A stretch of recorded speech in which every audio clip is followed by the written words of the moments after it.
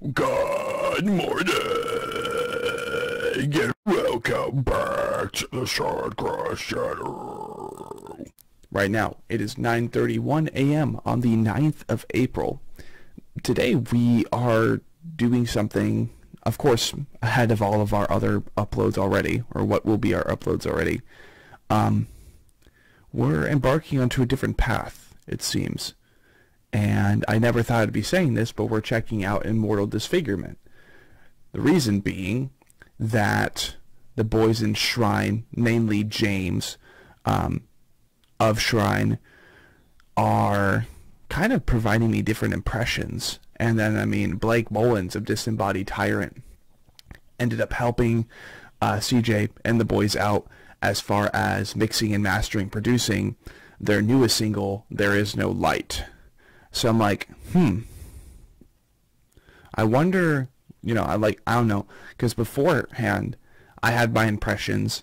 I was pretty dead set on those impressions, but just for the sake of doing it, just for the sake of trying to be open-minded, considering all variables in the situation that happened with CJ back in the day with Lorna Shore, um, and seeing where he is now, it seems that even my closest associates and friends in the scene um, seem to welcome him with open arms. So, we're going to go ahead and check out Dragged Through the Inferno, and then There Is No Light. If you would like to provide any feedback on any of the videos on my channel, including these ones, and let me know your impressions um, upon the song, upon the music, upon the people behind the music. And uh, yeah, let's get into it.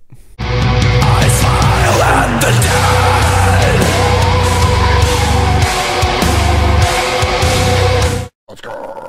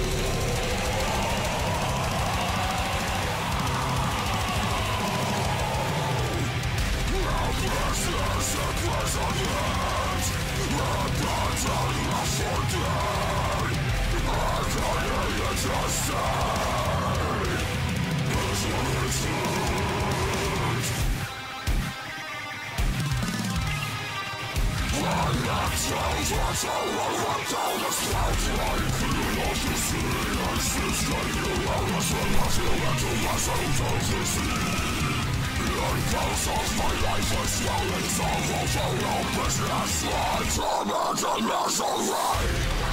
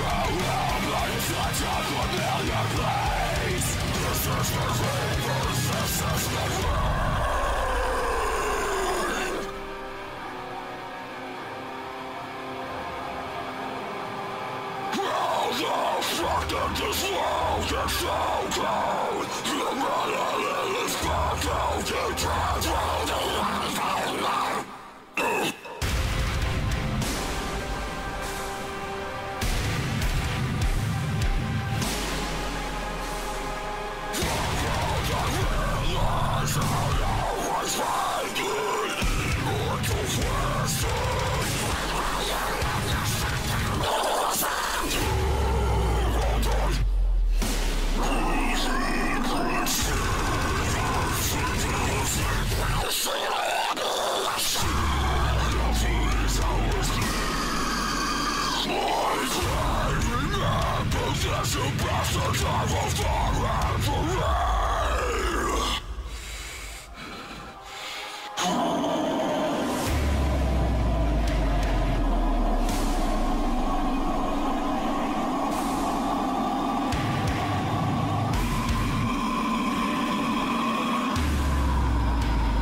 Oh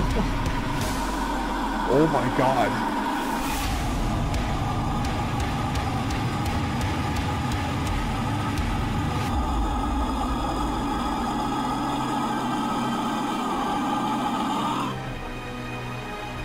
Oh. Is it not over yet? Okay, it is. God damn.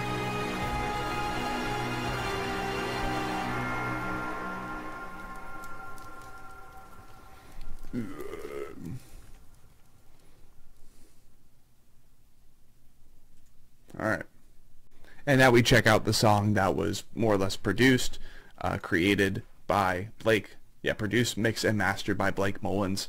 So, I mean, now we know the people behind the final product of this music of CJ's new band. Um, so that more or less is the reason I'm checking this out, but let, we'll go ahead and talk everything afterwards.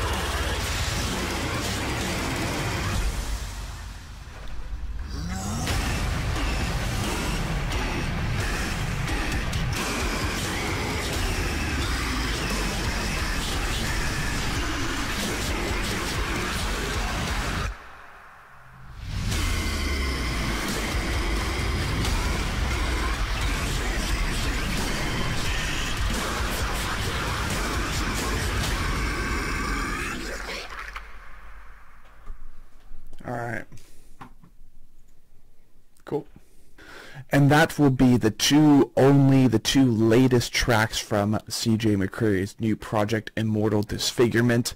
And I mean, over time, I will absolutely admit during the lifetime really of this channel, um, whether on the Anatomy podcast or in videos, I can pinpoint every point in time that I've mentioned him and had quite a negative review upon him and I've said certain things, I've I've worded certain things, but I haven't gotten to, gone into detail.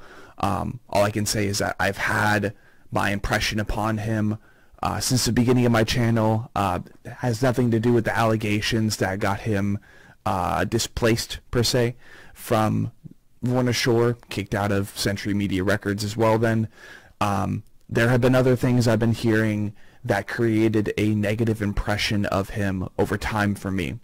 However, whether um, it be the fact that Derek Mythful was willing to work with him, that Blake Mullins of Disembodied Tyrant was willing to work with him, or that James from Shrine said that he's actually pretty solid people, he's good people, um, kind of providing him a trustable impression, right?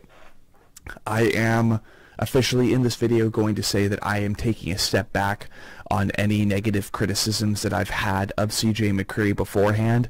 And to CJ, if you want to, I would love to get you on the Anatomy podcast, maybe ask some questions, um, tell your story as a musician, tell your story as a vocalist, and um, see if there are any things that I can go ahead and like clear, clear the air of per se. Because I mean, of all places, I would love to um, help, maybe help more people in the community to uh, build a positive perspective, um, build a more positive impression upon the person that they believe you to be.